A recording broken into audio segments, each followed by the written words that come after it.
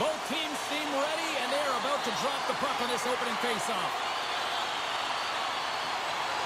Brings it in.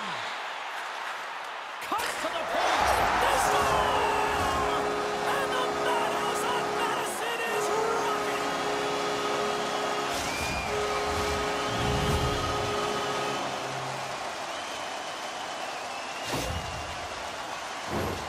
I love that he's on the attack with this shot. He's got his head up, and he's not just shooting to find a way through to the net. He's shooting to score here, but he recognizes how he's going to get it there, opens the lane, and most importantly, the goaltender can't try.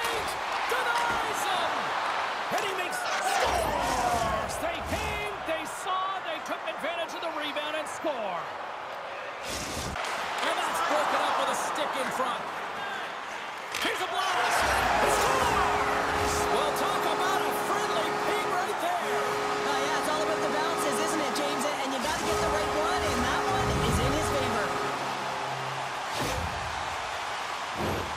This is a really smart shot through traffic, James. The recognition of the net front presence and screen, and the goalie drops to the butterfly position, really tries to make himself as big as possible, hoping that the puck just hits him because he can't see it.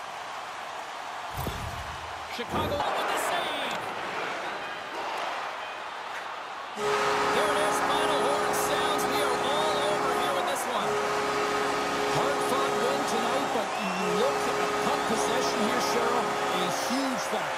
Stands out for me. Yeah, you don't even have to really look at the analytic numbers. I mean, the eye test says it all. You knew that they had the puck on their stick and they were in control of the game right from puck drop.